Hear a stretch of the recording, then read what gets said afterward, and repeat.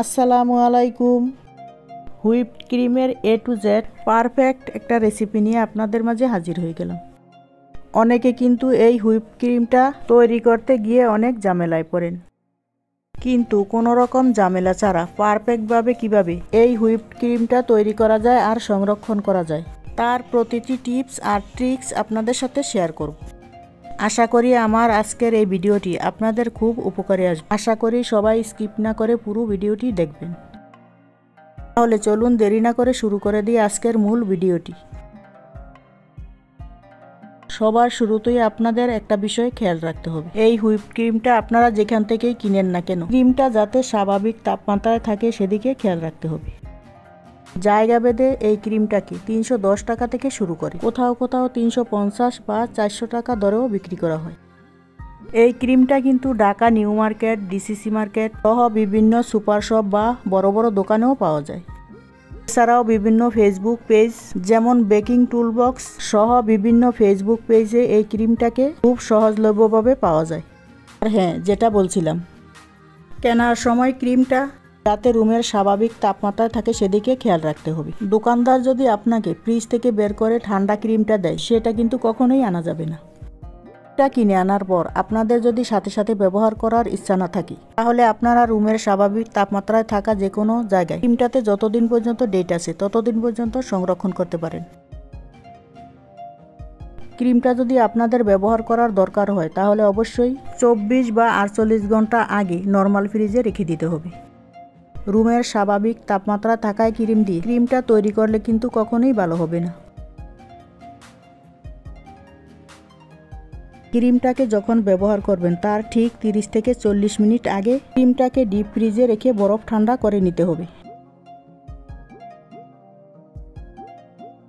এবার আসি ক্রিম তৈরিতে, কোন চিনিটা ব্যবহার করবেন? এখানে আমি দুই ধরনের চিনি নিয়ে আপনাদেরকে ডিটেলসে বুঝিয়ে দিচ্ছি। এখানে আমি এক টেবিল চামচ পরিমাণ চিনি আর এক টেবিল চামচ পরিমাণ আইসিং সুগার নিয়ে নিলাম।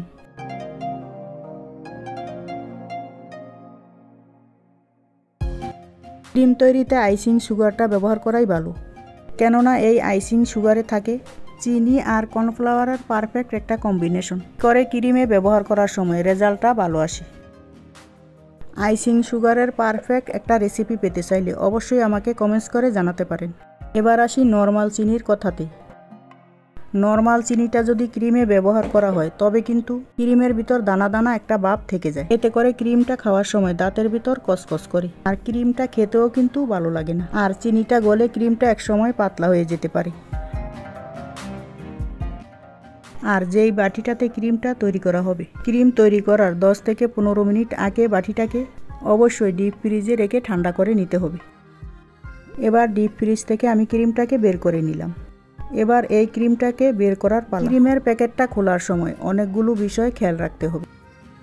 ক্রিমের প্যাকেটের দুই পাশের যে কোনো এক পাশে এভাবে করে যে কোনো একটা ছুরি দিয়ে কেটে নিতে হবে। প্যাকেটটা কাটার সময় চেষ্টা করবেন একটু ছোট করে কেটে নিতে। এতে করে ভেতরে বাতাসটা ঢুকবে না আর ক্রিমটা নষ্ট হবে না। কেক তৈরিতে প্রতি পাউন্ড কেকের জন্য এক কাপ পরিমাণ হুইপ ক্রিমের প্রয়োজন। এখানে আমি প্রায় এক কাপ পরিমাণ ক্রিম নিয়ে নিলাম। ক্রিমটা কিন্তু বরফ ঠান্ডা অবস্থাতেই আছে। ক্রিমটা নেওয়ার পর যে ছিদ্রটা করলাম, সেটাকে অবশ্যই ভালো করে বন্ধ করে ফ্রিজে রাখতে হবে। খোলামেলা এভাবে ক্রিমটা রেখে দিলে কিন্তু ক্রিমটা নষ্ট হয়ে যেতে পারে। ক্রিমটার ভিতরে যাতে কোনোভাবে বাতাস ঢুকতে না পারে, সেই জন্য আমি এখানে কস্টিপ দিয়ে ভালো করে পেঁচিয়ে নিব। আপনারা চাইলে কিন্তু এই ক্রিমটাকে অন্য যে কোনো ডাকনাযুক্ত বাটি বা বোতলেও সংরক্ষণ করে রাখতে পারেন। একটা ব্যাপার ভালো মতো খেয়াল রাখতে হবে, যাতে করে বাতাস কোনোভাবেই ঢুকতে না পারে।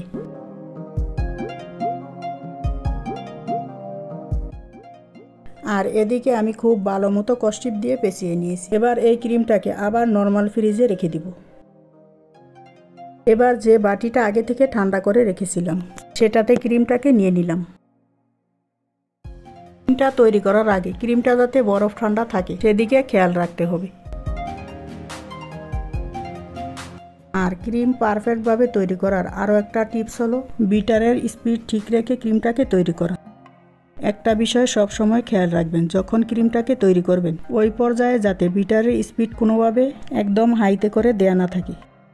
আপনাদের বিটারে যদি ওয়ান, টু, থ্রি এভাবে করে বিটারের স্পিড দেওয়া থাকে তাহলে অবশ্যই টুতে রেখে আপনাদেরকে ক্রিমটাকে তৈরি করে নিতে হবে। যদি হাই, মিডিয়াম আর স্লো থাকে, তাহলে অবশ্যই মিডিয়ামে রেখে ক্রিমটাকে তৈরি করে নিতে হবে। এক একটা বিটারের স্পিড অনুযায়ী ক্রিম তৈরি করার সময়টা কম বেশি লাগতে পারে। ক্রিমটা বিট করার শুরুতে সাথে সাথে কিন্তু আইসিং সুগারটা ব্যবহার করা যাবে না। যখন প্রায় সিক্সটি পার্সেন্টের মতো ক্রিমটা হয়ে আসবে ওই পর্যায়ে আপনারা নিজের স্বাদ মতো আইসিং সুগারটা ব্যবহার করতে পারেন।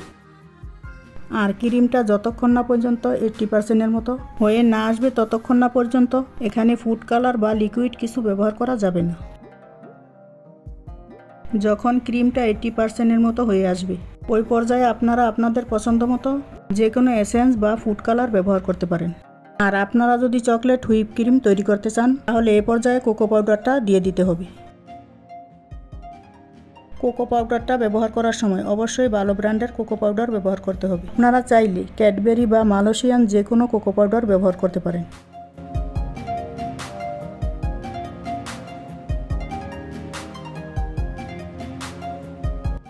ক্রিমটা হয়ে যাওয়ার পর কিন্তু খুব বেশি একটা বিট করা যাবে না। ক্রিমটাকে ওভার বিট করলে কিন্তু ক্রিমটা নষ্ট হয়ে যাবে। যখন দেখবেন যে ক্রিমটা আপনা আপনি পরে যাচ্ছে না, ওই পর্যায়ে বুঝে নিতে হবে ক্রিমটা পারফেক্টভাবে তৈরি হয়ে গিয়েছে। ব্যাস, তৈরি হয়ে গেল আমাদের চকলেট হুইপ ক্রিম। এই ক্রিমটা আপনারা যে কোনো চকলেট কেক ডেকোরেশন করতে ইউজ করতে পারেন। ক্রিমটা তৈরি হয়ে যাওয়ার পর ক্রিমটাকে আপনাদেরকে 30 মিনিটের জন্য ফ্রিজে রেখে দিতে হবে। এতে করে ক্রিমটাকে দিয়ে খুব সুন্দর করে ডিজাইন করা যাবে। এবার আসি ক্রিমটাকে কীভাবে সংরক্ষণ করবেন। ক্রিমটাকে তৈরি করে নেওয়ার পর আপনারা যে কোনো এয়ারটাইট বক্স বা জারে ভরে ডিপ ফ্রিজে রেখে প্রায় দুই মাসের মতো সংরক্ষণ করতে পারেন। তবে আমি মনে করি দুই মাস ফ্রিজে রেখে কোনো কিছু খাওয়া স্বাস্থ্যের জন্য ভালো না। ডিপ ফ্রিজে রাখার পর আপনারা যখন ক্রিমটাকে আবার ব্যবহার করবেন, তার আধা ঘণ্টা আগে নামিয়ে রেখে ক্রিমটাকে আবার 30 সেকেন্ডের জন্য বিট করে নেবেন।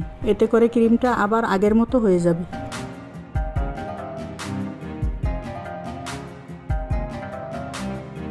ক্রিমটাকে বক্সে ভালো মতো ঢুকিয়ে নেওয়ার পর ঢাকনাটাকে খুব ভালো মতো বন্ধ করে দিতে হবে। আশা করি আজকের এই ভিডিওটি আপনাদের খুব কাজে আসবে। ভিডিওটি যদি ভালো লেগে থাকে, তাহলে অবশ্যই আমার চ্যানেলটাকে সাবস্ক্রাইব করবেন। তাহলে আজকের মতো বিদায় নিচ্ছি। আপনারা সবাই ভালো থাকবেন। আমার ও আমার পরিবারের জন্য দোয়া করবেন। আল্লাহ হাফেজ।